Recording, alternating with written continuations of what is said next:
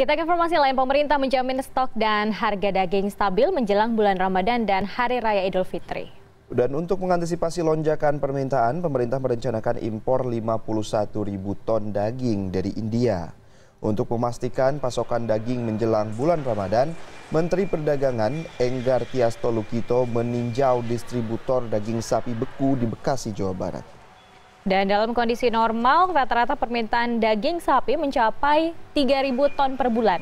Bila menjelang hari raya, permintaan meningkat hingga 5.000 ton. Telah disiapkan cadangan daging impor dari India agar dapat memenuhi kebutuhan pasar hingga tiga bulan ke depan.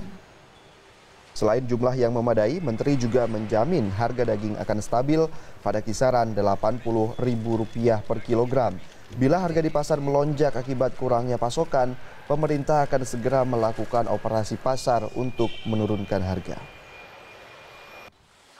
Ya, jangan pernah ada yang mau berpikir para spekulan ini untuk mencoba menaikkan karena begitu menaikkan kita punya komitmen bahwa dia akan langsung masuk di pasar eh, bersama-sama dengan Bulog untuk uh, menyuplai dan atau yang biasa disebut sebagai operasi pasar.